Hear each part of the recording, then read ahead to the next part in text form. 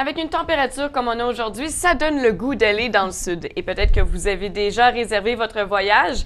Si c'est le cas, bien, vous êtes très chanceux. Mais il faut faire attention, surtout si on y va avec des amis et qu'on décide de consommer de l'alcool, parce qu'avoir un comportement dérangeant dans un avion, même si l'avion n'a pas encore décollé, simplement être à l'aéroport, ça peut avoir de graves conséquences. Pour nous en parler aujourd'hui, nous recevons l'agent relationniste Manuel Couture du service de police de la ville de Montréal. Bonjour. Bonjour. Alors, agent Couture, on veut savoir quel genre de comportement peut faire en sorte qu'on vous interpelle, que vous devez euh, interagir dans un avion?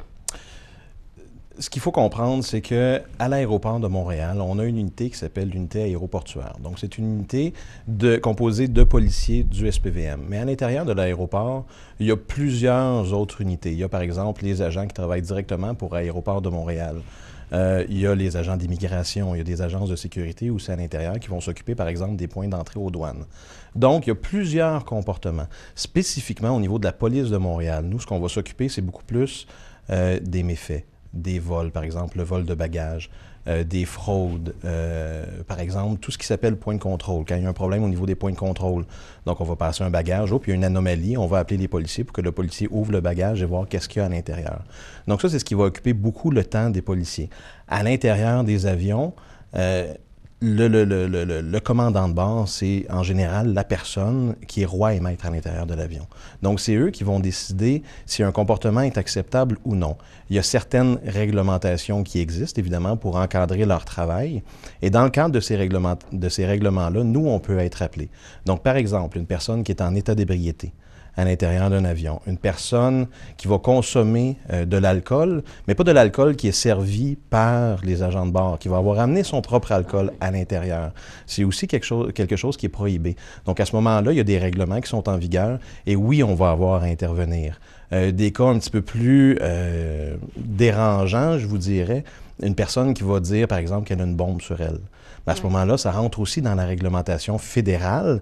Euh, on a un règlement, le règlement canadien sur la sûreté euh, aérienne, qui, eux, vont s'occuper un petit peu plus de ça, qui vont encadrer ce type de comportement-là. Donc, à ce moment-là, oui, on va être appelé à intervenir. On va aller voir les personnes.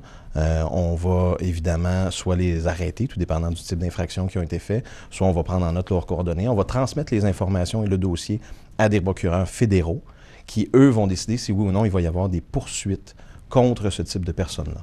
Là, vous avez parlé à l'intérieur de l'avion. Mhm. Avant que l'individu entre à l'intérieur, si euh, l'agent bord réalise qu'il est intoxiqué, est-ce que là, c'est l'agent bord qui décide euh, que lui ne peut pas aller à l'intérieur ou il doit absolument faire appel à vos services et là, vous, vous prenez la décision? Le personnel de l'avion, c'est-à-dire que les personnes qui, qui vont régir, qui vont plutôt travailler à l'intérieur de l'avion, eux ont une responsabilité envers tous les passagers de l'avion. Et c'est ce personnel-là, ben, à un moment donné, s'ils se rendent compte qu'une personne est intoxiquée avant de rentrer dans l'avion, c'est leur devoir de refuser l'accès à ces personnes-là. Ce qu'il faut comprendre un petit peu là-dedans, c'est que les gens qui vont rentrer à l'intérieur de l'avion, si, si, par exemple il y a une situation d'urgence, et ces gens-là ont de la difficulté à se déplacer, si ces gens-là sont pas capables de venir en aide à une autre personne, s'ils sont pas capables de s'occuper d'eux-mêmes parce qu'ils sont trop intoxiqués, parce qu'ils sont en boisson, euh, usage de drogue, à ce moment-là, c'est leur devoir de leur refuser l'accès. S'il y a une situation d'urgence, ils mettent en péril la vie et la sécurité des gens qui sont à l'intérieur de l'avion. Donc à ce moment-là, c'est pour cette raison-là qu'il y a des règlements qui existent.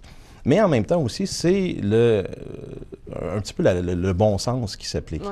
Donc, c'est vraiment chaque personne ben, doit faire un cas de conscience pour se dire est-ce que si, par exemple, il y a un atterrissage d'urgence qui a été fait, est-ce que je risque de mettre ma sécurité et celle des autres en danger?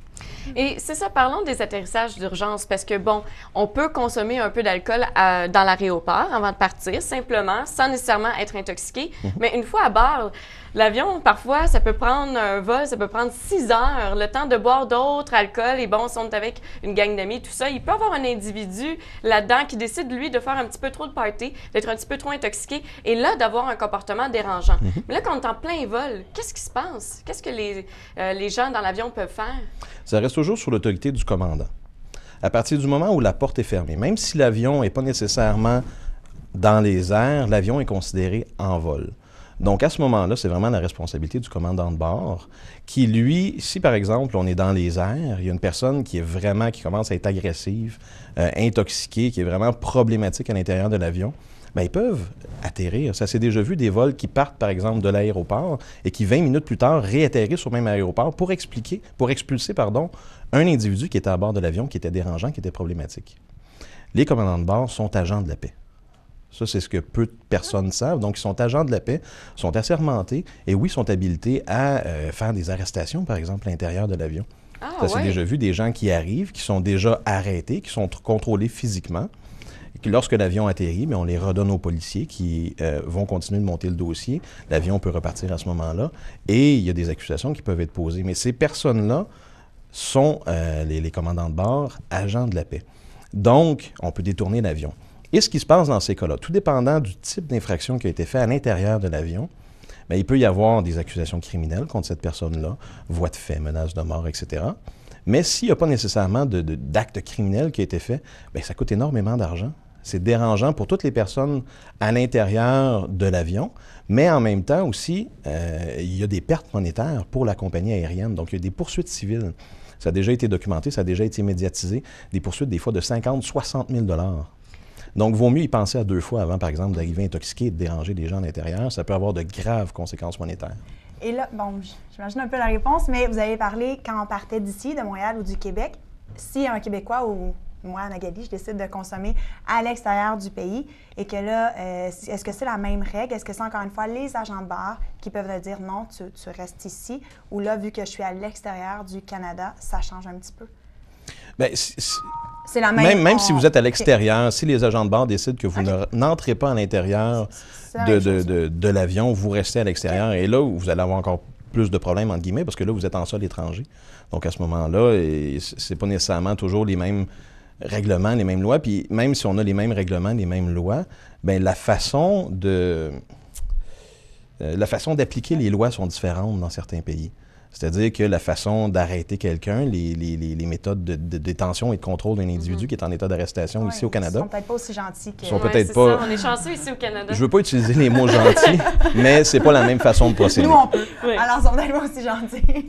Est-ce que ça vous est déjà arrivé fréquemment au service de police de la ville de Montréal d'intervenir justement parce que des individus étaient problématiques, soit des Québécois ou des étrangers qui avaient trop consommé, qui faisaient carrément le party dans l'avion ou dans l'aéroport?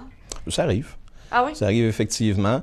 Je vous dirais, euh, on en a discuté tout à l'heure, dans quelle période? Est-ce que ça peut arriver un petit peu plus? On parlait peut-être de période hivernale, mais ce qui se passe avec la période hivernale, c'est que c'est pas la même, c'est pas la même clientèle qui voyage.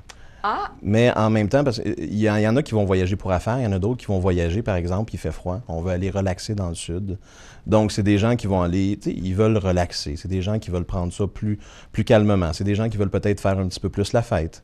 Donc, à ce moment-là, sans nécessairement stigmatiser un groupe d'individus en particulier, on a une hausse d'achalandage. Donc, il y a plus de monde. Les raisons peut-être de voyager ne sont pas exactement les mêmes. Donc, à ce moment-là, est-ce qu'on a une, hausse d'appel ou une hausse de ces types de comportements-là? Ça peut arriver, mais c'est pas la même chose. Ça change d'année en année. C'est très variable. Jean Couture, avant de terminer, nous avons beaucoup des anecdotes ici à ADR. Est-ce que vous avez, ou euh, comme policier, il y a eu des anecdotes là, que vous avez vécues? Ben, Une anecdote, moi j'ai entendu parler au, au moins deux, euh, deux événements particuliers. Il y en a un, un individu qui était dérangeant à l'intérieur de l'avion. Il savait probablement pas que le commandant de bord est assermenté, donc euh, qui est un agent de la paix. Et à ce moment-là, quand il est arrivé à l'aéroport, il était euh, il a été arrêté, mais lui, il était tellement hors de contrôle qu'il a fallu qu'il vraiment le contraigne physiquement. Donc, il l'avait attaché euh, un, un peu partout. Donc, à ce moment-là, quand il est descendu, on en a pris contrôle. Ben, on a pris contrôle, on a pris possession de l'individu, puis à ce moment-là, le, le dossier a suivi son cours. Mais c'est des gens qui sont pas nécessairement au courant de la réglementation. oui. Et c'est un type de personnes qui, à un moment donné, ben, peuvent peut-être penser, peut-être pas dans ce cas-là en particulier, mais des fois qui peuvent penser qu'une fois qu'ils sont rendus dans les airs, qu'ils sont dans l'avion, ben, les lois sont moins applicables. Mais c'est important de rappeler à tout le monde que les lois qui sont en vigueur ici au Canada, ben, elles sont aussi en vigueur euh, dans l'avion. Comme par exemple un avion qui euh, est canadien avec un équipage canadien, qui est encore, qui survole le territoire canadien, mais c'est les mêmes lois qui sont en vigueur. Agent Couture, merci beaucoup d'avoir été avec nous. Ce fut très intéressant. Plaisir. Alors, euh, c'est des très bons conseils aussi euh, pour les gens peut-être qui euh, ont des amis qui font pas mal de party parfois et qui peuvent avoir des comportements dérangeants, de bien les avertir que ça peut avoir de graves conséquences. Merci beaucoup d'avoir été avec nous. Au retour de la pause, l'émission à l'affiche se poursuit.